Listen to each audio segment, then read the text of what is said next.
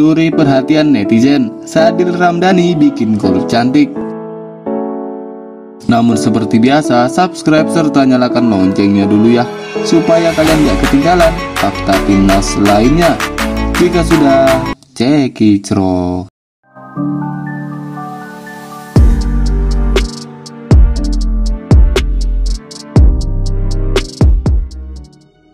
Sadil Ramdhani baru-baru ini mencuri perhatian di Liga Super Malaysia.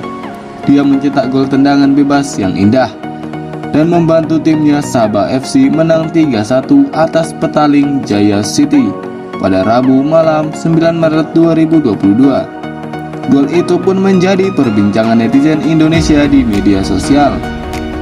Mayoritas ingin melihat Sadil Ramdhani kembali membela timnas Indonesia. Sebagaimana yang diketahui, Sadil Ramdhani absen di Piala AFF 2020 yang lalu. Cedera membuat mantan pemain Bayangkara FC itu tidak bisa memperkuat timnas Indonesia asuhan Sintayong. Setelah pulih, Sadil Ramdhani mulai menunjukkan tajinya bersama Sabah FC.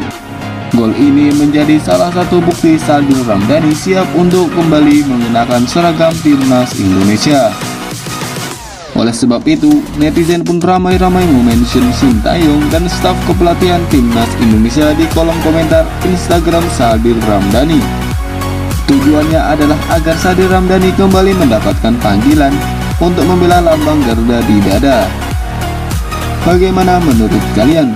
Tulis di kolom komentar. Sampai bertemu di video selanjutnya. Dan salam empat penjuru.